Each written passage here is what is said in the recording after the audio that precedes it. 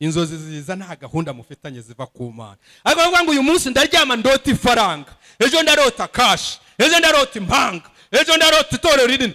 Ukaba waraye ubipanze iryo ni ivangirwa. Amasengesho y'abarokora ubundi ni zama eshatu. Mane minisitiri marriage. Niwo bakubita iminsi mirongo ine ukabatega harya ukabatega amajwi. Uzasanga amasengesho udasengera minisiteri arasengera birebana n'urugo undi yarugiyemo undi nidoramugora undi ntararujyamo uratagira undi ni ifaranga poromosiyo ndi umushomeri. Mane marriage mini? Ibi bintu byo gushyuha bijyanye n'umwuka tongera kubibona no muri ezekeri ezekeri ahanura amagufwa yumye birangije ntiyaba mazima ariko arashyuha ajyaho umubiri ngo ayo magufwa ntabwo ngo ibi mibiri gusa ngo ariko nta buzima bwari bugize gute. Imana yamwe ngo hongere uhanure. Imana yacu ni umwuka n'umuriro. Imana yacu ni umwuka n'umuriro. Hari ibintu bisaba gutwikwa. Hari n'ibisaba guhomekeramo bikaba bizima. Ayo magambo roho yawe uravuga ngo kwa satani bumva izina rya yesu? Kwa satani bumva amaraso ya yesu? Kwa satani bumva umuriro w'iki? W'imana. Ntuzabyibagire mu intambara y'umwuka.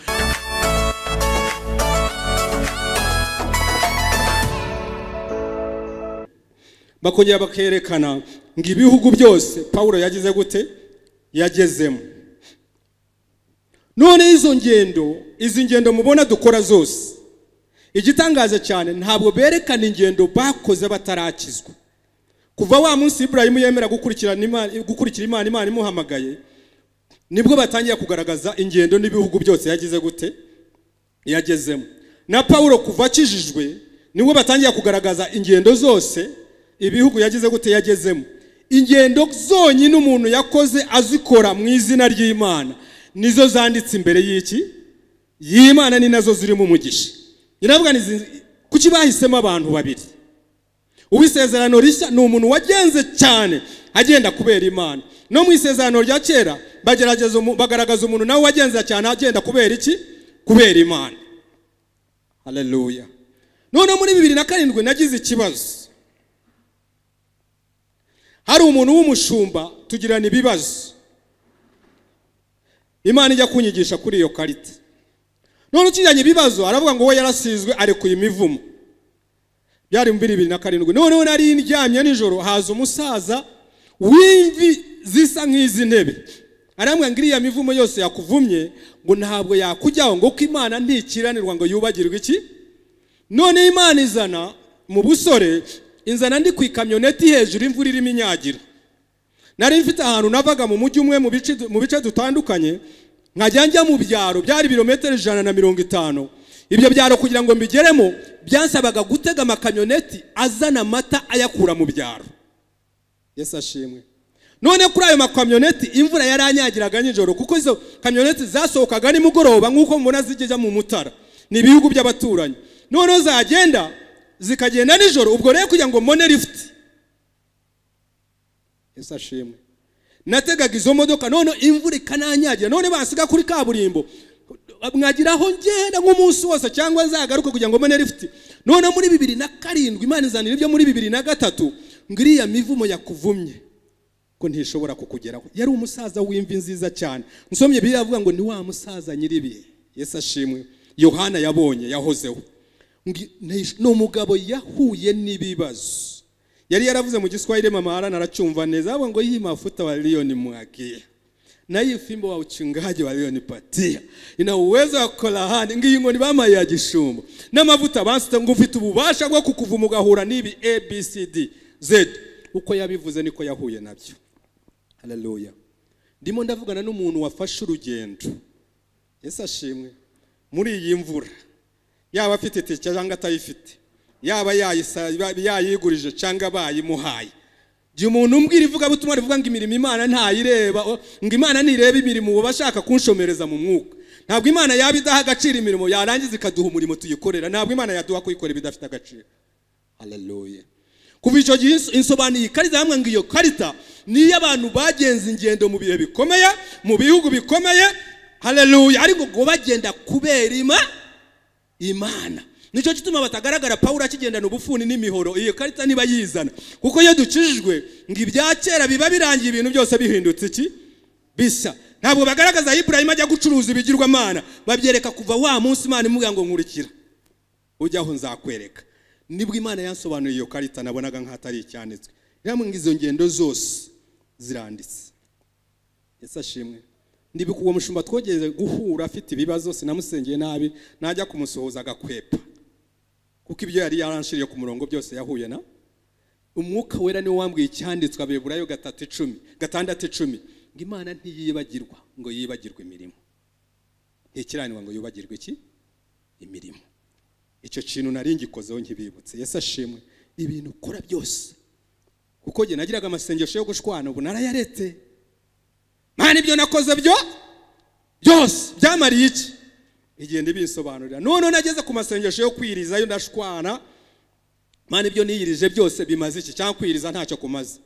Rimwe iranzanira amashuri yanjye si menshi kandi si make ariko arahagije kuba nahagarara ku isi yose. Yesi ashimwa ahizanshira none imana inyigisha ubukungu inyereka amasengesho ku myaka noneho makumyabiri n'icyenda nakoze iminsi mirongo itatu itarimo kurya amanywa nijoro nkoresha amazi gusa.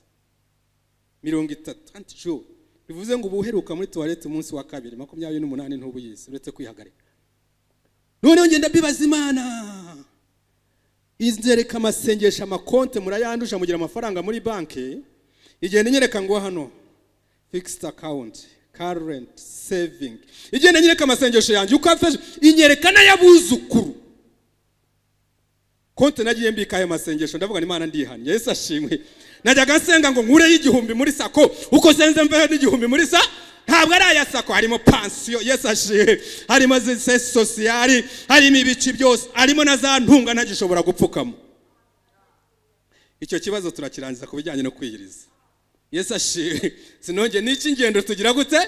Turakirangiza nakoze igihe nisobanura agiye nkunda gusobanuza. Meze nka petero. Hari ibintu yabazaga ariko byaradufashije. Arayagiraga yesu ngo duhagarare. Ngarya basize abagore n'abana n'ibyo bakoraga kuba dusanze mu kazi. Yari ameze nk'ahubuka ariko yaratubarije twese yesu ashimwe. Yaba ameze nk'ahubuka ibintu byinshi yabikoraga nk'ahubuka ariko yatubarije ibyo tugira gute? Yesu aramubwira ati jana muri bwa bugingo no muri icyo ntawe ukikibaza iki imana yesu ashimwe. Ni byinshi yagiye abaza mu guhubukwa kwe. Nanjye byajyaga bimbaho na n'ubu biracyambaho. Ariko imana yagiye isobanurira ako kamwe turakarangije. Yesu ashimwe. Izo ngendo ukora hari aho zigeze gute? Hari aho zanditse. Izo yarazimbuye naraziboneye mu buryo bufatika. Ko umuntu ashobora kuvuga imihango y'idini ariko atazi aho waciye. Yesu ashimwe. Ibyo ni ibyo. Icya kabiri kuva mu bihumbi bibiri cumi na rimwe kubera nkunda abavugabutumwa abantu bakunda abahanuzi mwiga ihangane yesu ashimwe. Umuntu ankubita tibi joshua ndamukunda ariko nkumva biranze ni we narekanye kuri birigaramu wapfuye cya tiyereziboni yesu ashimwe. Umuntu akankubita umwapotere runaka bika bikanga mfite umuvugabutumwa nkurikirana abwiriza muri za pakisitani ahegereye za afaganisitani namwe naho ni ho bankunda nubwo bankubita urusasu nkajya mu ijoro ariko nkagwa kuri tere yesu ashimwe hamira aho ni ho ni ho ngu? Aho kubaza ngo hari bangahe muri urwo rusengero? Ngiye kubwirizamo. Ubu nubwo najya mu ijoro hari mesaje wakuyemo kumuvuga butumwa iminota itatu ya mbere byibuze umuntu aba ageze gute? Aba arangije none mu bihumbi bibiri na rimwe kugeza bibiri cumi n'umunani n'imyaka cumi n'umunani navuze reka nkurikirane umuvugabutumwa nkunda dore ndi umusore ndebe uko yakijijwe. None ngiye kureba umunsi yakijijwe abantu baricujije igituma bakoze igiterane. Ushobora kwishyuza igituma watangiye girize muri iki gihe bati iyo ngitangira mbere cyangwa iyo ngitangira mu bihe bizagira gute? Abantu baratekereje ntibaravuga ubutumwa bukomeye bakomeye si abapotre basaba ahantu ikibuga umuntu abatiza ikibuga bahakorera igiterane hakizwa utwana n'utundi tumeze gutyo. Bajya kubyibazaho n'amafaranga yabo bari bagize gute bashoyemo. Baje kwihana nyuma. Mbese ashimwe ariko mu bakijijwe muri abo muri abo bana mu myaka mirongo itandatu ishize muri iki kinyejana nabonye za bbc zivuga yapfuye n'abasilamu n'amateleviziyo ngo nta muvugabutumwa twiteguye kubona vuba muri iki gihe abantu badakijijwe birigarahamu yapfuye ese ashimwe. Muri icyo giterane mu twana twashijwe tw'imyaka cumi n'ingahe birigarahamu yari ari ku murongo. Haleluya none abakoze icyo giterane batangiye kubona amasitade yuzura ibintu bivuga ngo mana turagushimira kuri cya giterane ayo masitade yuzuye ni cya giterane cyacu yesu ashiwe nta muvugabutumwa twakomeye twari twatumiye nta potire na porofote twabitegereje nk'abakirisitu bo ku rwego rutaramenyekana turabikora. Ese ashimwe na Trump atanga ubuhamya ngo papa yanjyanye mu giterane cya Graham. None ataje gutukana. Yesu ashimwe haleluya akiriho jye numvise. Ntuza yapfuye. Ari umuperezida wari wapfuye Ronald Reagan. George Bush avuga ubuhamya ngo had advised him to go and visit the, uh, the pastor of our nation. Urabwiye Ronald Reagan agenda arebe pasiteri w'igihugu cyacu baganiye yesu ashimwe. N'umwe igituma mbabwira ibi ndashaka kuvugana namwe nk'aho ntabazi. Ejo ntazicuza ngo ibya bihe navugaga byapfuye. Gusa yesu ashimwe. Hari abo tuziranye n'abo tumenyanye. Ariko ndashaka mvugana namwe nk'aho tutaziranye. Ejo ntazicuza mvuga ngo mana bya bintu nari mvuze ngo ntacyo nakoze. Amina kuva mu gihe cy'intambara y'isi yose muri za mirongo ine na kangahe hari umusore abwiriza abaperezida bagera nko kuri icumi. Bamupfukamye imbere. Ashimwe. Bamupfukamye imbere. Ndibuka ejo bundi ntuza ninde warahiraga? Ni, Trump arahira. Umusaza yari ashaje. Bazanye umuhungu we Franklin Graham ni we wasenze. Avuga ati byibuze tuzane umuhungu. Wese ashimwe. Ariko asengera igihugu. Bibiri cumi n'umunani ni bwo agiye. Uwo ni wo muntu wakirijwe mu bintu abantu bicuza ngo tujye turimo gukora ibintu nk'ibi. Yesu ashimwe. Nivuga ngo ibintu urimo turimo dushobora kwicuza imana ipfa kuba igize gute? Ibirimo. Ndashimira imana bakunze hari aho bantumiye ejo bundi hari abantu nk'igihumbi. Mama arani naramubwiye. Ngomba kuvuga ku wa gatanu. Ndabisiba bitewe n'ibyo nari narayemo. Ye- aleluya navuga ni wihangane sindi buha buhazi. Undi ati kuri televiziyo tusobanura ibintu bikumva nzasobanura bikumvikana nzasobanura ibyanjye nzahabazwa imbere ya gahenome n'iju singiye gusobanura ibyawe urimo wiba abantu. Yesu ashimwe. Nkigenda mbikupa kugira ngo nzabaze ibya bivuze ariko ndumva hano ariho imana ishaka. Ibyo bihumbi yavugaga pasita elogia nanjye nzaza navuga ati uriya musaza yari ahari yesu ashiye uriya musaza yari agize guti yari ahari intebe zashomereye. Abantu badafite aho bicara. Nkunda abasirikare. Uvuga ibintu akavuga ngo ubucecetse. Icyo gihe wari utaraza waje nyuma duhanganye n'ubwo buzima. Ndabakunda. Umuntu ajya kuvuga ibintu ngo rekubire ibyo ni inkuru bakubwiye. Banza ucece. Ibyo ntiwabimenye wari ukiri mu rugo? Yesu ashimwe nubwo nazasanga ni mu zabukuru ndi umudemobu wenda mwana ndemubirije aleluya ariko zavuga ati muzeyi yari agize gute?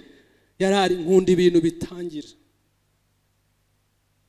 Hari umupasiteri muri iyo minsi baramwimitse ba bishopi baramuhamagara ngo rero ngo arashaka kuperezanta ko ari we wambwirije. Ndavuga barakwirukanye nanjye baranyirukanye. Yesu ashiwe. Ntabwo nzaza bakwimuke reka iby'amadini ndabi ndabizi abagabo barashaka ibyubahiro byabo. Yesu ashimwe ariko abantu baba bafite icyo bamaze. Hari ahantu naje muri iyo minsi nicara inyuma harimo umukecuru yize diguri bimugoye. None ndimo nicaye n'ibishati bigera hano hari ababishopu yabatumiye. Avuga ngo mbonyemo umuntu ngo wambwiye imana yanjye. Hari inyuma ngo, kuva mu bana bambwiye imana ya isirayeli. Kandi sinashaka ko babimenya. Noneho ndimo nicaye haramvuga. Ababishopu bava ku murongo batangira gutaha. Yavuga ngo n'igihe wamubwirije imana ye. Ngo twahuye akuze ngo ariko ibyo twaganiye ni byo birimo bimuhindurira iki? Amateka abantu yari yashize imbere barataha iyo niyo madini. Iyo abimbwira mbere sinari kuhaza. Yesu ashimwe. Namwe ninza mwaruziye muzagende buhoro bu- buhoro buhoro mumufate nk'umushyitsi. Ibyo turabyumvise. Ishusho ufite ku byo urimo ni iyihe? Cyangwa imana ibiha akahe gaciro? Ibyo. Kandi ujye wishimira njye nkunda kuba ntuza frontliners frontliner pioneer. Nkunda bya bintu nashizeho itofari ryanjye njye ibyo gusanga hashashe byarukurukira izindi ntabwo ari umwuka wanjye mu izina rya rya yesu. Ngo mubanze mumbarize ngo hariyo bangahe? Bambariza iki? Aho niwo nshaka. Yesu ashimwe. Ndi ahantu heza cyane. Cyane cyane cyane. Niho imana yanteguriye. Reka tujye muri bibiliya zacu.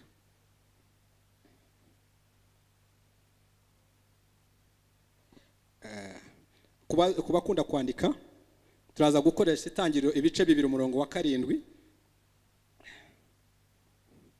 Itangiriro ibice bibiri umurongo wa karindwi.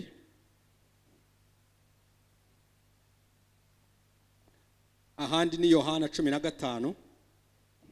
Aho hose igituma amabarangiye hakiri imbere ntabwo ndi buhasome. Wihangane ibi bintu tugiye kubisengeramo. Haleluya tugiye kubisengeramo. Aho ngiye gusoma noneho sawa aho naho aho uri bwisomero kuko turaza kubisengeramo. Aho ngiye gusoma ni abami ba kabiri ibice bine. Abami ba kabiri ibice bine ushatse wajya kuhasoma hose ariko ntatangira ku murongo wa mirongo itatu na kabiri kuko sindi busubire muri bibiliya. Abami ba kabiri ibice bine umurongo mirongo itatu na kabiri. Ngo nuko elisa araza yinjira mu nzu asanga umwana yapfuye aryamye kuri bwa buriri. Arinjira yikingirana n'uwo mwana bombi atakambira uwiteka. Arurira yubama kuri uwo mwana umunwa ku wundi amaso ku maso amaboko ku yandi ah, um- umurambararo intumbi y'umwana irashyuha. Intumbi y'umwana igira gute? Irashyuha ariko ntiyaba nzima. Elisa arabyuka yigenzagenza muri iyo nzu akubita hirya aragaruka arongera arurira amurambararaho umwana yitsamura karindwi arambura amaso. Yitsamura kangahe? Elisa ahamagara gehazi aramubwira ati hamagara uwo mushunemukazi aramuhamagara aramwitaba aho yageze aramubwira ati terura umwana wawe. Yesu ashimwe. Sindi umuhanuzi ariko araba imana igiye gusubiza bavuga ati akira bya bindi wagiraga gute? Kandi mbiguhaye ari bizima ntabwo mbiguhaye bigize gute? Bipfuye mu izina rya yesu yesu ashe kuguha ibyawe. Ikintu nshaka hari ikintu imana irimo kunyigisha muri iyo minsi mu itorero n'ibyo ndimo n'ibyo igiye kunkoresha nawe ibyo igiye kugukoresha. Irimo iranyigisha ngo umushinga ni uwanjye n'umuterankunga w'uwo mushinga ni jye? Nigiye numva amaradiyo avuga ngo umushinga warahagaze ngo kuko ikigo cy'abakoreya cyawuteraga inkunga cyagize gute? Uravuga ngo wa mushinga twari dufite ngo cya kigo cy'abayapani cyagize gute? Umuterankunga yarahagaze. Ngo cyari icy'abanyamerika cyari icy'abongereza cyari ikiki uwo mushinga ugakinga. Genda shimira imana kuko itorero atari umushinga w'abana b'abantu. Itorero nubwo wakwirukana satani ukirukana amadayimoni ntibibagiremo uruhare tuvuga ko satani aturwanya yesu akaba atari irye ukariha abapasiteri n'abapadiri n'abita abakristo. Baritwika rikaba ritakiri ku isi. Ubu ikiririnze ni uko ari irya yesu kirisito tuba twararyitwikiye yesu ashimwe. Intambara tugiye tuba twararikongeje iki kintu kiveho wenda twigire mu buhinzi bworozi ducuruze n'icyo kudutesha umutwe. Ariko yesu arakirinda waba uri dayimoni waba uri pasiteri waba uri padiri yesu arakirinda ntacyo wagitwara. Kuko umushinga nyirawo ni nawe muterankunga haleluya none icyo nshaka kukubwira. Ibintu ufite biguhangayikisha nanjye bimpangayitse ni imana yabitangiye si twe twabitangiye. Noneho umaze kumenya ko ari imana yabitangiye uravuga ati imana niyo nyiri umushinga ni na yo muterankunga itwereka hano adamu na evi barimo bavuga ngo imana ihumekera hariya nababwiye mu itangiro kabiri karindwi ngo imana ifata uwo muntu ngo imuhumekeramo umwuka w'ubugingo umuntu ahinduka ubugingo buzima. Uwo muntu ntabwo yasabye imana kumurema. Haleluya imana yaremye umubiri ari muzima bivuze ngo umubiri wawe ni umushinga w'uwiteka. Yesu ashimwe. Iyo wibutse imana wibutse uvuga ati uyu mubiri ni umushinga w'iki? W'uwiteka ibintu byo yesu ndacyabisengerana cyane ngewe numva hari abo bibabaje cyane. Yesu ashimwe. Naratuje kuko namenye ko ari umushinga w'iki? W'uwiteka ndareba imana. Imana ifata adamu na eva ijya kure mu rugo rwa mbere arirwo rwatubyaye twose. Yabaze bati nta gitifu biza nta gitifu ugira gute? Yaba yari gutanga imyaka iba ari iminsi ingahe bashyira ku murenge. Makumyabiri n'umwe bamenye ko utatwaye umugore w'abandi. None bazana mu gitifu kuri adamu na eva. Gitifu yari kugira gute? Ariko umushinga si uwo iyo bazana pasiteri w'abarokore yari kuvuga ati nuruzwe umwuka wera nta n'ubwo wabateje mu mazi me? Ukajya mu badivati n'isabato ukajya mu bagaturika ati amasakaramentu yose n'umubyeyi twamenye ko utamukunda neza umubyeyi bikira mariya. Yetse ashimwe. None imana avuga ati amadini leta ndabirukanye. Umushinga ni uwa? Ibasebukwe irakosha nyirabukwe ibintu byose irabikora. Ibi biduha ishusho ko ibintu byose ni imana yabitangiye. Haleluya icyo kintu iyo cyanze imodoka hano yo yanze uyisubiza mu ruganda aho yagize guti ibi bintu iyo byanze tubisubiza kwa nyirabyo. None ikibazo duhari imana ibyo irimo kunyigisha.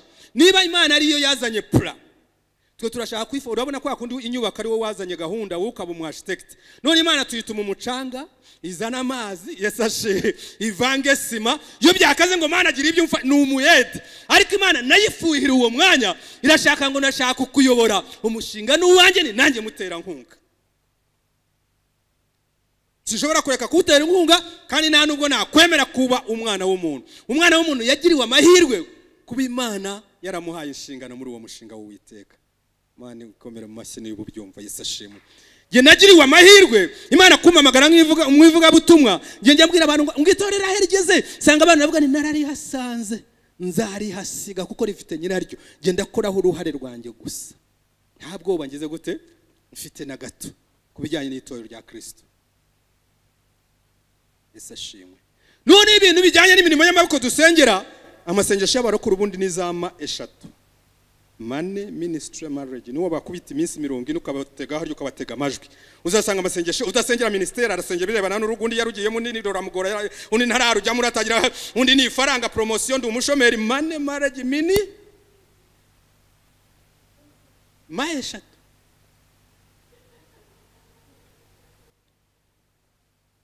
None izo za ma eshatu na zo ni imana yazitangiye yesu ashimwe. Nayo ni umushinga wa? Niyo yabwiye ngo babyare bashakane bakore batere imbere mubyiteho mube bazima. Nabo ni umushinga wayo. Nibwo ujya ukabwira imana ati noneho umushinga wawe ndawugaruye. Nijoro nasengeraga igihugu. Imana iranyibutsa ati isoko utakivuze? Nawe ni umushinga wa? Ingena mu byakozwe n'umwe ngo mu muntu umwe. Ngo imana yaremye amahanga yo yose. N'indimi zo?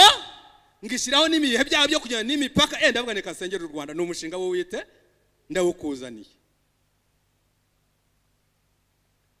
Ese ashimwe? Impano zikurimo ni umushinga w'uwiteka. Umuhamagaro ni umushinga w'iki? W'uwiteka. Imana yagiye ikomeza abo yahamagaye bose. Ikavuga ngo si igihugu uhamagaye. Ikavuga ngo umushinga si uwanjye. Ese inkunga si inyifite mbuze iki? Ba mose ba yeremiya ba ezekeri ba intumwa bahanuzi bose yarabwiye ngo umushinga ni uwa we shikama si igihugu uhamagaye uzirinde kugira uwa Hallelujah. umuntu umwe yatangiye itorero rirakura rigira ibihumbi n'ibihumbi yari afite ibifaranga n'ibindi. Imana iramureka bigeraho ibifunga. Agiye gupfu aravuga ngo mwana mfasha. Imana aravuga ati ngiye kugufasha. Irabitwika birashira imana ni ukumfashije koko? Mwerega watangiye utambajije. Nanjye nta n'icyo nari nakubwiye. Tugiye gutangirana kuko umushinga ni uwa? Uwawe ubanza ujye ku mane baratangirira mukoresha yesu ashimwe. Ariko imana ifuhira uwo mwanya viziyo ni iyayo ntigiye kugutera inkunga mu byawe gusa. Ahubwo ni ibikoresho yabitse ngo umuntu uzajya muri uwo mwanya izagira gute? Izabimuhe. Amina ibintu byose tugiye gusenga. N'umuntu si wowe wamuremye n'umwana n'umugore n'umugabo n'umuki fata ku muntu wamuremye. Ntushobora guhindura mugenzi wawe. Umujyanire uwamuremye. Agire gute? Na telefone uyisubizayo umuntu aravuga ngo nturayikoramo wigeze uyikoramo? Ati sinigeze nyikoramo bakabona kuguha iyindi. Ariko niba yarakozemo udutoki twawe avuga ati yo yigumane. Ni wowe wabyishe n'iby'imana ni uko haleluya turashaka guhindura ibintu ariyo ishinzwe kubihindura. Niba ngo ibintu byuzuye byatangiwe nande byatangiwe n'uwiteka. Ese ashimwe ntabwo ngiye kubatinza kuko tugiye gusenga. None tujye ku wa mudamu w'umushine mu kazi iyo nkuru ntabara. Umudamu yari yibereye akunda umurimo w'imana nk'uko wawukunda waravuye ku bintu hari ibintu navuyeho. Mukuru wanjye hari ubwo namusuye yumve niba nkiri muzima. Mu bwenge. Imana ikangubita ikintu wenda nkamubwira aho agiye guhembwa cyangwa akazi agiye guhindura. Yesu ashimwe. Iba yamwiteguye si ndi umuhanuzi. Tukajya mu akajya mu by'ubwana akajya mu biki byose. Byaba atari karacyari muzima afite uko abanye n'imana ye. None mu buzima busanzwe akabona hari ibintu navuyeho ku buryo atuma n'abantu mumumbarize. Mugira gute? Muciye mu mugira gute? Mumumbarize muze mutubwire amakuru. Uyu mubyeyi hari ibintu yari yaravuyeho. Ariko yakundaga imana uzakomeza gukunda imana. Mbese ashimwe. Hari ikintu nabonye tuvuga kwizera ariko nubwo kwizera kwashira ugasigara ukunda imana utayihemukira ukiyikunda imana irakora. Nabibonanye sara. Sara bambwiye ko azabyara. Kubita agatwenge aseka marayika baramusanga. Ati umukecuru araseta ati mumbabarire sinsetse umukecuru abakubita n'ikinyoma. Arabihakana. Yari umukecuru ubyaye nka frank yari nk'umwuzukuru we. Ati sinasetse. Iyo uzavuga ngo sara azabyara. Babibwira iburayimu yari ariyo ku ruhimba. Ati umugabo dore ngo baramukubita ikinyoma.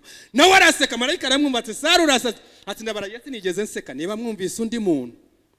Ariko yari agikunda iki? Ariko ntabwo yari akizera ibitangaza.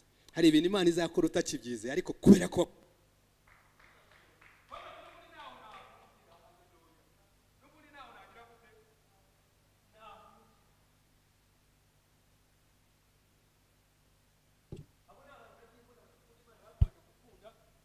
nabonye n'undi agenda agira yesu inama ngo kandi mwami yuza hakiri kare. Ngo musaza wacu ntaba yaragize gute? Yarapfuye. Ngareka yesu yesu izavuga ngo nigeye mu ngo ndabizi ko kumera uko abantu bazagira gute? Ariko waratinze. Bagera no kumva kimugira inama ngo mwami ngo umuntu yaranutse winukiriza iki? Agenda amugira imana. Ariko yari agikunda yesu nubwo atarakizeye ibitangaza. Iyo niyo mana yacu. Genda bwe nzagukunda ni byo ngishidikanyaho ariko nzagira gute? Hari ibyo uzakora. Yesu ashimwe. Hano batwereka umubyeyi hari ibintu yari yaravuyeho. Uyu mubyeyi ni umudamu w'umushunaye mu kazi yakundaga imana agakoresha amafaranga ye. Umuhanuzi akajya acaho witwa elisa. Nubwo uzakubitwa ibintu bigeze gute? Ntuzange imana ntuzashwane n'imana. Yesu ashimwe. Uzagira ari ibyo izakora. Hacagaho umuhanuzi witwa elisa abwira umugabo we ati mugabo tujye tumucumbikira. Ajya arara ahantu acaho ku zuba uruhara ruba rwahiye we nuko yakoraga umurimo we.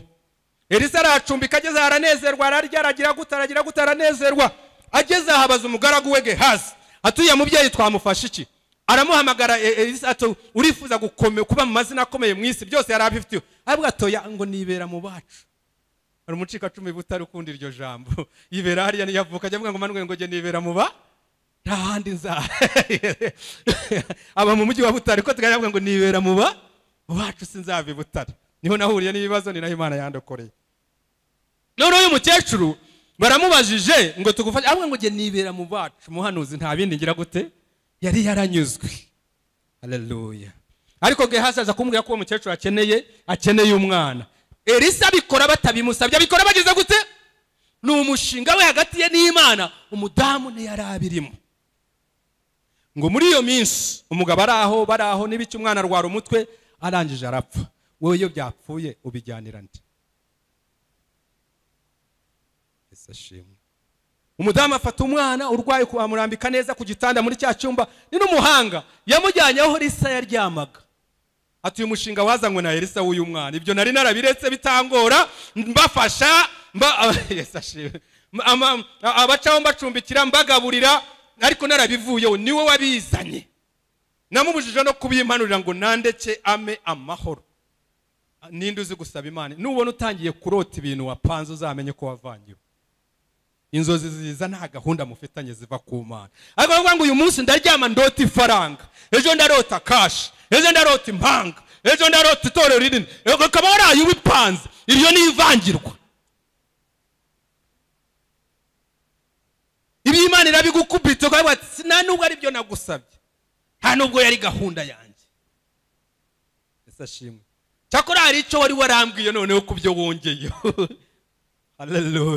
uyu mukecuru niyo yabisabye risa biba bigira ngo umushinga ugume ni cyo gituma imana itubwira ibintu tukandika si twe twabiyibwiye niyo yabitubwiye. Ese ashimwe uyu mudamu bigenda uko arisa agize gute? Aza gusama. Uwo mwana ararwara arapfa. Agira gute?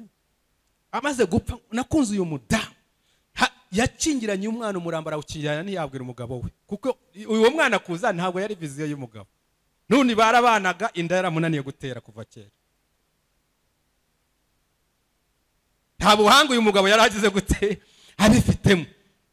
Umwana apfuye amukingirana mu cyumba umugabo aramubaza ngo urajya ahabwira umugaragu atari aho ngiye gato? Shapu ntacyo avuze. Aka kantu na iburayimu yagakoze sara. Ati ndajya gutanga isaka umuntu yifitiye umwana umwe. Njye nari mfite uko nabikinnye hanze mbere. Mfite n'ubundi ndasagura isimayiri isaka niba mujyana ndasagura nde? Ndabibwira sara w'umwana umwe. Ntabwo abyemera. Na iburayimu nawe yakwepye sara atamubwiye.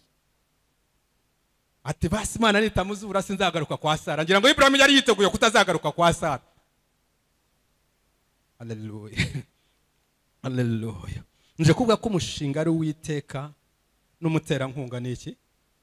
Igihe bajya bambaza ati hari abantu bajya ngo ariko nta ruzungu zero umusaza ajya kuvuga ngo nta ruzungu ubu ntiwavugana na Rick Warren uruzungu urenda kuba ugikeneye ama- kuko yuzuye uruzungu ngo amafaranga urayabona mu rusengero.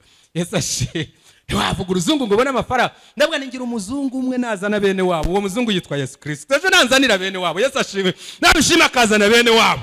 Kuko niwe muzungu muzima nabonye ni nawe wampamagaye. Kandi ntazampemukira. Uwo muzungu nashima azabazana kandi azabazana mu gihe kigeze gute. Sinzajya kubahiga haleluya noneho umudamu arahaguruka ajya gushaka avuga ati ariko iyi nda ko nari narabivuyeho hari umuntu nacumbikiye hano mu buzu ubwo buhanuzi abababa barakubita abcd nanjye ngiye kuryama mbona birampamye inda ntakeka yesu ashi umukecuru uciragura birakomeza mpaka mbyaye ubu umwana yapfuye ndamugarurira nyiraho ashaka hajyana umurambo we. Hari ibintu ugomba kujyanira imana yesu ashimwe. Haleluya iyo bigeze ku muhamagaro ndabizana. Bizana iki gihugu abambwira ngo nararindagiye generation yanjye b'imyaka yanjye n'abo twanganaga n'abo twiganya kuko bumvaga ko icyerekezo cyanjye ari politi politiki yesu ashihe none nkaba naragiye mu bintu bita bavuga akantu ngo yari afite ubwenge. Aka gatatu niba- akakurikiraho niba akavuga bavuga ngo yaje kurindagira. Yesu ashihe ntibakakubwira. Ngo nahuye n'akana karambwira ngo ngo murumuna wacu yari afite ubwenge ngo mubyara wacu yari afite iki? Ubwenge. Yesu ashihe ariko yatubikiye mu bihe bikwiriye. Haleluya none agenda areba elisa. Bivuze ngo uwazanye nyiri nyiri umushinga ni wowe muterankunga uwazanye igitekerezo. Icyo gitekerezo nikigira ibibazo genda umubwire. Ese ashimwe? Genda umubwire. Ibintu tugiye gusengera byose tugiye kubwira imana. Niba ari abana niba ari urubyaro niba ari urushako niba ari minisiteri mane marage minisitiri uko nabwiye za mazacu eshatu yesu ashimwe. Mu bibazo dufite byose tugiye kubijyana ahantu n'ahandi wagusaba kwihana. Ukavuga ngo nari narigize injeniyeri nari narigije umwashitekiti nari narigize umuhanga mu gupanga mana nari narakugize umufundi ngutuma amazi n'umucanga wikorere sima. Kandi igitekerezo nawe urangije uraceceka. Yesu ashimwe. Noneho n'ikigira bujyane umucanga na sima. Vayo uyobore ni we wazanye pura y'iyi gahunda Haleluya.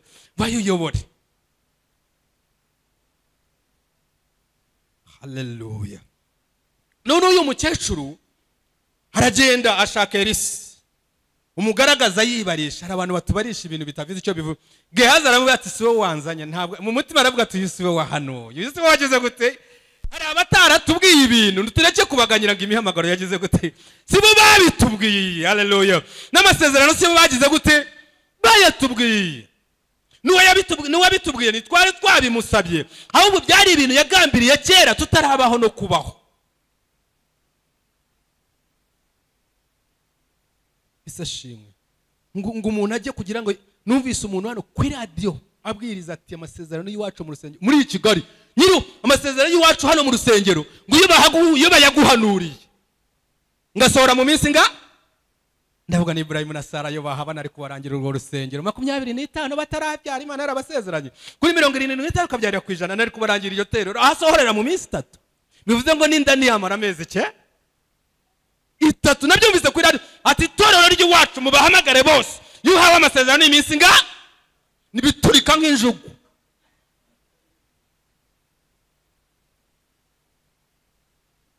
Eh? ni papa.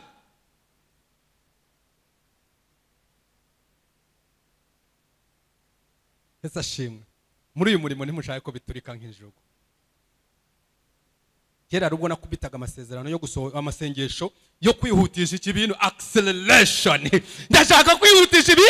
Imana ikanyereka nagutse mu murima ry'ibigori bitarageza igihe ibihembe bitarageza igihe. Nkajya mbona ibimara ngiye gusara. Irambwira ngo ibintu bihira igihe cya cyabyo uzareka izo mbuto zibanze zera ubu ndakubita tatu hasi ugomba gusohoza isezerano iri ni urijyana he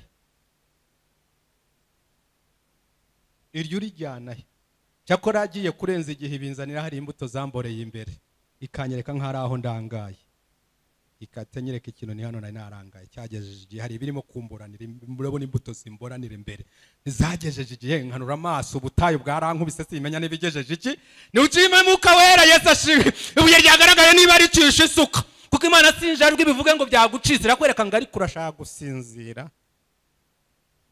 Hari umwana hano mu gihugu hano muramuzi singiye kumuvuga izina.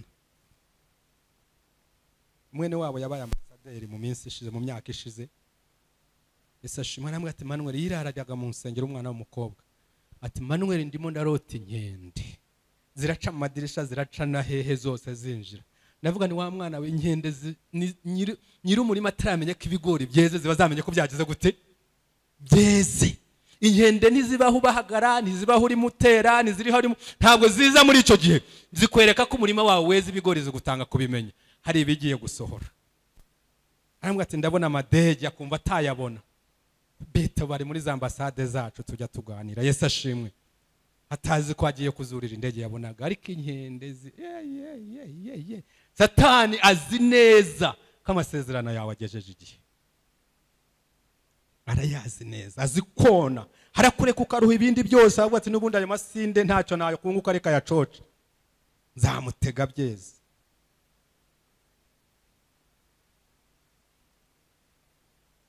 Ahubwo ni nkende. Ni ibyonnyi bitwonera twejeje. Twisinzira nari nciyeho gato muri icyo gihe noneho hagenda areba umukecuru haza gehaza w'umugaragu. Aramubaza ngo ni ikibazo kimuce hari abantu batagomba kutubaza ibibazo dufite. Tukabibwira uretse uwabitubwiye gusa. Hagenda areba elisa. Elisa nawe atuma gehazi ngo agiyeyo. Mbere se ko atamutumye kuza guhanura ko umukecuru agomba kubyara umwana. Kuki atamutumye. Umukecuru aravuga ati sinjyayo gehazi nashaka agende wenyine. Gehazi aragenda arapima biranga. Abantu baragenda bavuga ngo bigiye gusohora bitasohora ngo ugomba kuba warahemukiye imana. Nyihemukira se kubera iki? Ese ashimwe?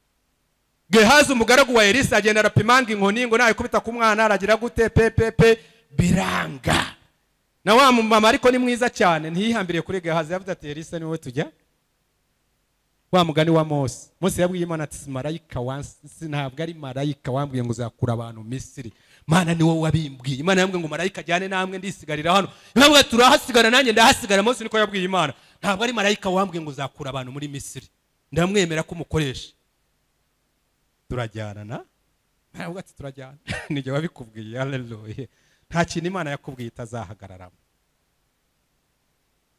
Haleluya. Elisa araza rero. Ntimuzakore ibyo abahanuzi bapfuye barimo bakora. Elisa araza umukecuru aramuhagurutsa ati tugende. Nta n'ubwo yamwingiza avuga ati dore bya bintu byawe. Yamweretse icyumba ati dore bya bintu wahanuye hano ufata umurambo wawe niba ushyingura babashyingura. Niba ari nyamirambo niba ari busanza niba ari kijiji hari ahandi ni he handi? Niba ari rusororo birakureba jya inzu nta murambo wasanzemo. Kubita amwereka icyumba umukecuru arisohokera yesu ashimwe. Hari ibintu ugiye kwereka imana. Haleluya uyibyereka ati ngibi? Umushinga ni uwawe. Jya akantu mwikuyemo. Nari narigize viziyoneri kandi ni we viziyoneri viziyo ni iyawe jyaho ni ho ngeze ibyo imana igiye kunkoresha ni ukujya nibuka uwagize gute? Narababwiye ejo bundi ngo abantu bambwira ngo manuel yari yihanganye ngo ngende mbabwira ko ari imana yanyihanganiye sinshobotse. Namwe je kubabwira ko imana yanyihanganiye sinshobotse. Sinzi wowe niba wari ushobotse ariko jye sinari ngize gute? Ntabwo nari nshobotse. Kurinda ubu nzarinda mva mu isi mvuga imana yaranyihanganiye sinari nsho namwe nimuzi zabihanganira nubwo mudashobotse niryo yamaye ivuga butumwa ryo kubwiriza abadashobotse nkanjye haleluya none elisa asengera umwana umwana ntiyazuka ngo ariko birashyira ariko bigira gute? Hari ibimenyetso imana itanga ko yatangiye gukora ibintu. Na n'ubu hari ibigiye gutangira gushyuha mu izina rya yesu. Nk'ibimenyetso ya mbere ndi si ukuvuga ngo birabaye ariko bigiye gushyuha. Elisa arashyuha yumva umwana adahumeka. Tugiye kwitakuma mu minota mike. Ngakoraho umwana yashyushye ariko atazutse. Ngo elisa arongera aragenda muraza kuhabona. Ngo arasenga arasenga arasenga arasenga arasenga arasenga. Hari ibintu tugiye gusengera nibirangira bishyuhe aragaruka arongera ngo amujyaho umunwa ku munwa amazuru ku mazuru yesi ashimwe. Umuntu wakoze ibyo ibi bintu tubibona mu itangiriro mu biremwa byose imana yaremye. Imana ntabwo yigeze ihobera ingurube. Ngo iyishyireho umunwa. Umunwa yawushyize kuri ada? Bivuze ngo ibintu byose imana yaremye umuntu ni wo w'agaciro. Ubirusha byose. Yafashe umuntu imushyiraho amazuru imushyiraho umunwa iramuhobera amufata gutya ngo iryo bumba iraruhumekeramo uwo muntu ahinduka ubugingo buzima. Nta kiremwa na kimwe muri bibiri imana yagiriye ako kantu. Urwo ni urukundo dufite. Haleluya hari aho bavuga imivugo yabavumye gusa ariko imana niyo bambere yabambitse imyenda ngo ibashakire ibyo bambara ibakura muri bya bibabi bari bambaye. Nubwo yari ibyo yavuze urwo rukundo irarukomeza no muri iki gihe. Nawe yongere kwambike yesu ashimwe. Nanjye nyambike ibikwiriye byose. Noneho kubera umuntu bamuhumekeyemo ahinduka ubugingo buzima nanone elisa nawe agiye gukora akantu imana yakoreye adamu yibutse ikintu cyitwa ubugingo aho cyagize gute? Aho cyagiye ati imana ni we ufite umwuka utanga iki? Ubugingo ibintu bikongera bikaba bizima. Niyo yatangiye umuntu usibye wamutangiye. Kuko yari azi ko uwo mwuka w'imana umurimo nawe ukurimo ni cyo nshaka kukubwira. Hari umuntu hano yari umuyobozi imana igira ibintu byitegura ajya muri koma yari arwaye za diyabeti yari mu nzego z'umutekano ariya za butare yari umupolisi. None barampamagara bukeye bari bazi ko mu ruke byari nko mu masaha kumi bari bazi ko yapfuye. Barize umudamu ari hariya batelefonye muri ngo manu wegera ugira ngo kanaka uyu n'uyu ugize ubu n'ubu? Noneho ndabireba nanjye ngira ngo yageze gute? Narahageze ku mbona urufuro rwagize gute? Ariko ndahaguruka mfata n'utuboko numva twakonje. Uza gutya avuga ni imana wahumekeye muri aba naba yesu ashimwe. Ugira icyo ukora. Ntabwo bampamagaye kuba ari igihe ujya kubika wa mbere.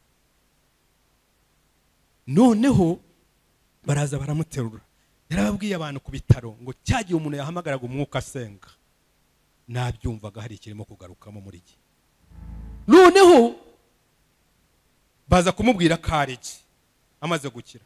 Noneho rimwe abanyamadini bajya kundega ni we wari wayoboye aho hantu. Bavuga ngo manuel arabariza manuel manuel manuel amenya uwo ari we. Ariko ngo manuel monsover ngo manuel my savior. Ngo manuel umucunguzi wanjye ni we mwaje kurega hano. Arashakisha abashaka telefone barampamagara ndaza hamwe ngo ibipapuro byose ushaka kubwiriza muri aka gace. Uzane ndagukubitiraho kashe nubwo ari weekend ndasubira muri biro. Ngo monsover ngo wa mucunguzi wa? Ariko nari yisaje hamwe reka nsenge mvuge ngo imana igaruramo umwu umwuka igira icyo ikora.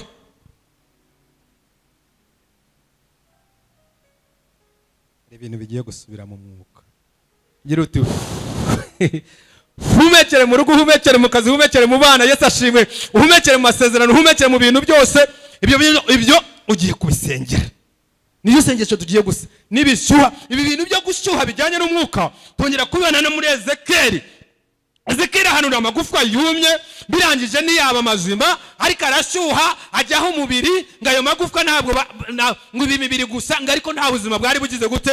Imana yamwe ngo hongere uhanure. Haze umwuka wu amagufwa ahinduka amazima ngo avamo ingabi zikomeye. Yesu ashimwe. Ngesigaye ndangiza gusenga nkanahumeka. Haleluya nkanarekura n'uwundi. Turi kumwe barumuna banjye. Yesu ashimwe. Impano imihamagaro. Tugiye guhamagara wa mwuka watangiye ubugingo mbere. Mu ibumba uzi. Ngo arasenga. Umwana aritsamura. Kanga? Kangahe abigeze babona abantu bari muri koma. Sinavuga ngo nayibayemo ariko nigeze kumva abaganga bambika. Ngo disi aka kana karapfuye. Aka kana kagize gute? Bafata kuri iyi mitsi bagafata kuri iyi mbyumva mbikururane aka kana karapfu karapfuye. Kari gato singiye kubabwira ubwo buzima byari byabaye. Ese ashimwe utanyijira mu mateka ngo aka kana karapfu karapfuye.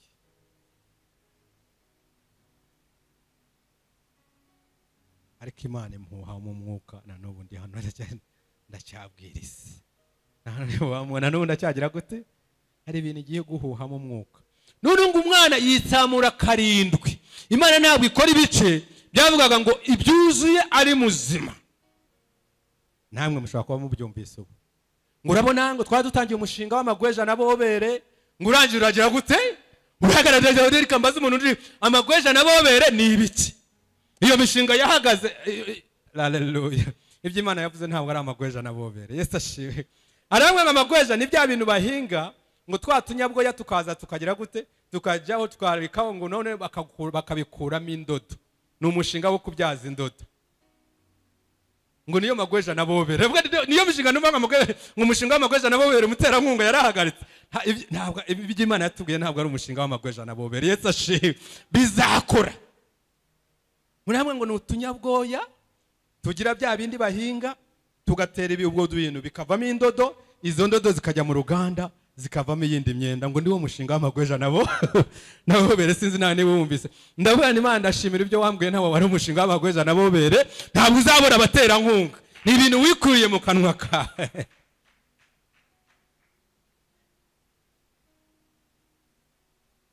iyo nibutse ibyo bintu ndongera nkagira gute? Ngashima haleluya nongera ngashaka ngo ni ibi bintu reka ndeke kwivumburavumura no kwirakaza imbere y'iki. Reka mba arijye witunganya njye muri gahunda. Nshobora kuba ndimo mbijya ku mpande. Byari nka hano ndimo shwanira hano. Uwabizanye ashobora kuba ari zo umurongo ngomba kugira gute? Ngomba kubamo. Habona imana yongeye iravuze ngo sinabyibagiwe. N'igihe wabizanye. Nkicara hari abantu batanga inka mu kabari bugaca babyibagiwe ko batanze inka mu ka ariko akabyibuka ukajya kuyifata akavuga ati ibintu byagenda urabizi. Ugize gute? Nabikojeje kuri madamu arambwira ngo nta nkiva aha. None ibyo imana yavuze nta rwitwaza mu izina rya yesu. Yesu ashimwe. Ntabwo yavuga ngo ibintu byagenda. Imana ivuga ngo ibyo nagusezeranije naganiriye na madamu ngo ndumva ntayagira gute? Ngo cyangwa zari inzoga nyinshi. Ntabwo ari ay'inzoga. Nagiraga amarume witwaga saa y'inzoga iby'imana ntabwo ari ay'inzoga. Ni ibintu yikuye mu bitekerezo. Yesu ashimwe iratubwira turandike. Imana ntabwo ari ay'inzo saa y'inzoga niba nawe iwanyu bariyo ba saa y'inzoga ariya magambo y'inzoga ngo inzoga iroshye. Ntabwo imana yari yasinze. Bivuge ngo wenda na- na- nanyoye nyinshi ntanga inka ndahubuka cyangwa koko nabyibukaga ariko ibintu byo madamu ntiya- ntibyamugiyemo nzaba nkubwira. Ni ibintu yitekereje nta muntu yagishije inama. Ijya no kundema ntawe yagishije iki? Inama. Haleluya ndagusaba utuze amasezerano ya- yaguhaye amasezerano utakurwaho na leta. Yaguhaye amasezerano ababyeyi bawe batagira gute? Yaguhaye amasezerano oni itakuraho.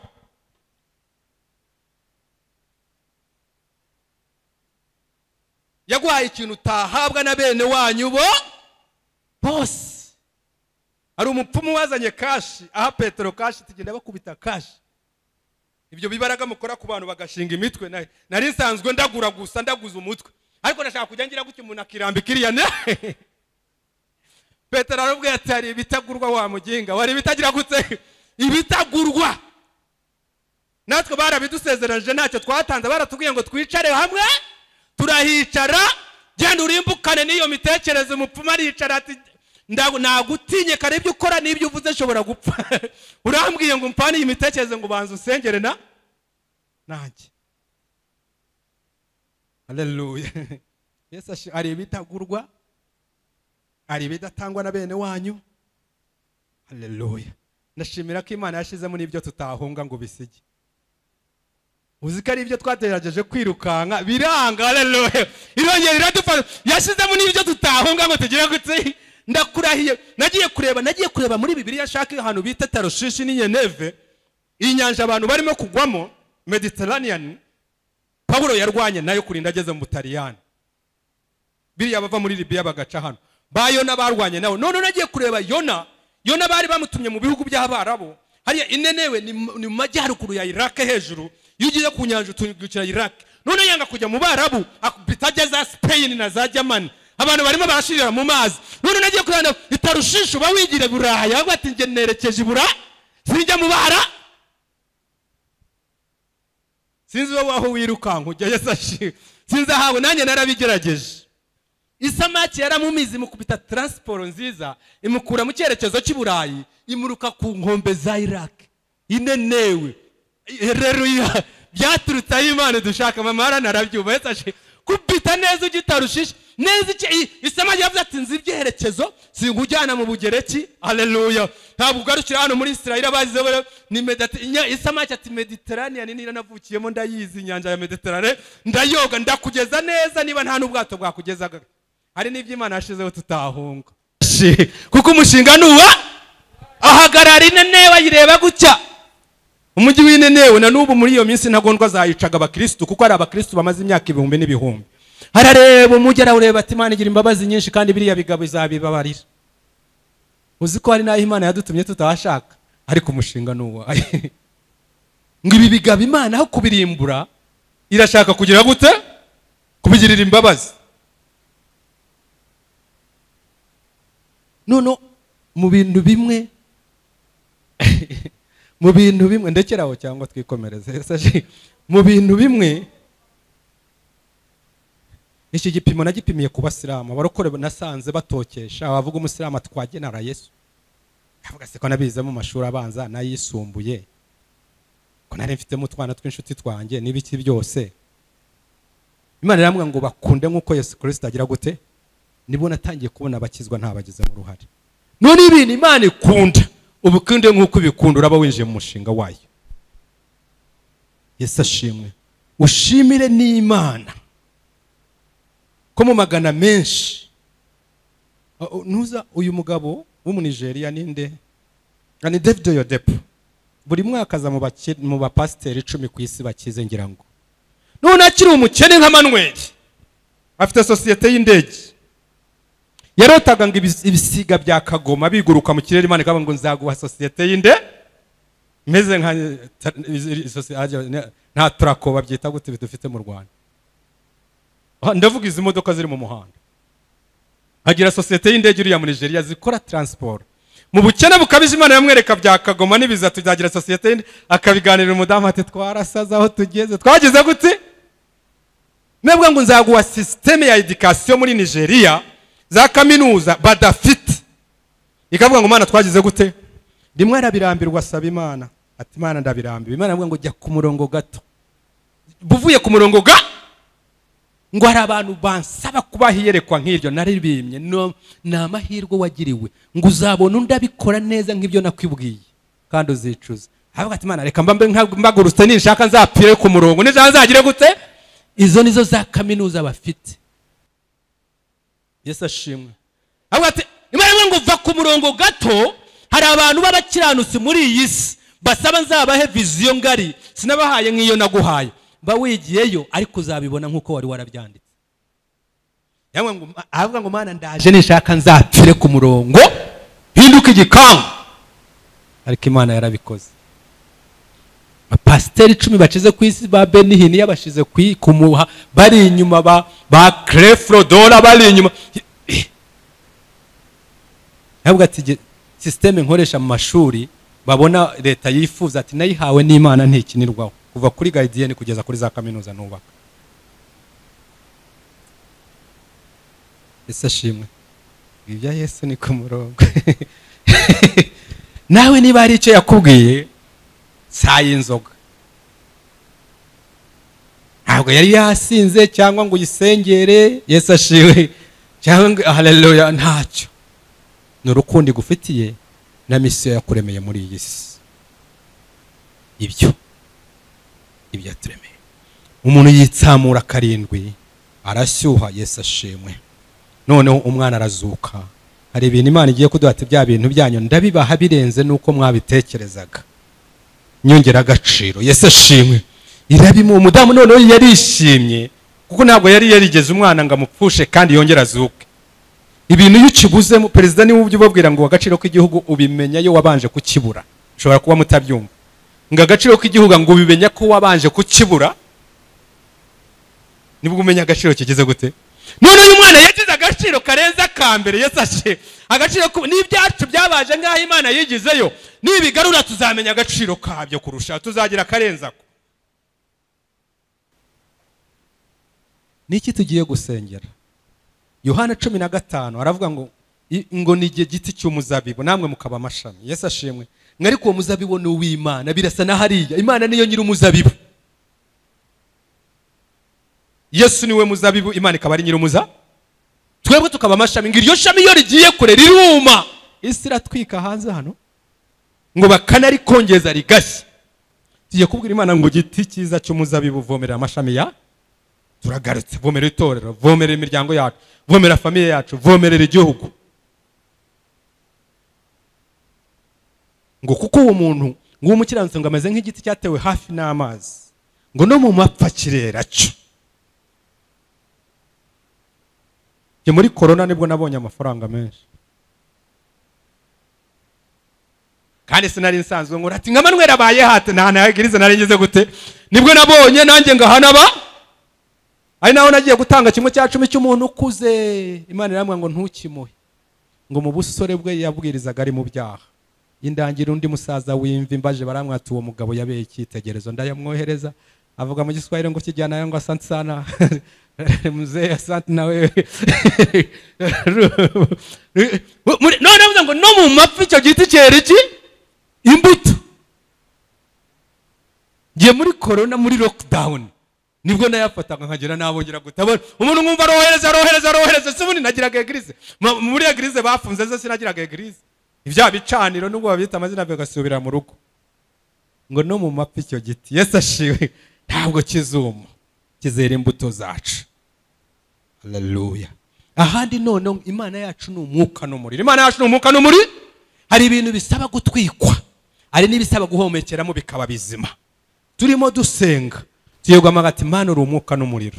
Ibintu bisaba gushya n'ibishya niba mujya murota inzozi uzarebe iyo ugize atake burya amagambo ugize mu nzozi mu ntambara y'umwuka niyo akomera uhamagara iyo udahamagaye amaraso ya yesu uhamagara yesu.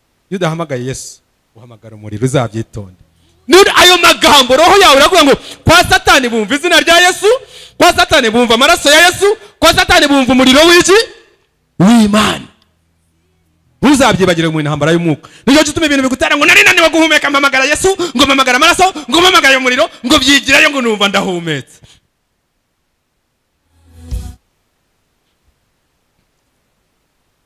Ese ashimwe ibyo bintu satani arabyumva. Imana yacu imana uri umwuka n'umuriro. Imana uri umwuka ni iki? Yaravuga ngo nzajya imbere yanyu nk'umuriro ukongora. Hano tubonye ahumekeramo ibintu ukaba bizima umwuka numanuka uratuma ibintu biba bizima. Umuriro numanuka hari ibigiye gushya. Tugiye kwitakuma ibintu byari umurambo bishyuhe nibirangira bibe bizima. Yesu ashimwe haleluya tuvuge ngo ni ibyacu. Iyo niyo mana twakurikiye. N'icyo umwuka wera agira gute? Akora. Njye nawe reka duhaguruke. Reka duhaguruke. Ibindi mwuka warazaza kubaha amazi. Tangira ku buzima bwawe ufate famiye yawe yesu ashimwe. Ufate igihugu cyawe ufate umurimo ufate umuhamagaro wawe. Byose ibyo wumva ko byari byarakonje. Muri aka kanya igiye gushyuha. Mu izina rya yesu mana duhagaze imbere yawe. Mana uri umwuka n'umuriro muri aka kanya mu izina rya yesu.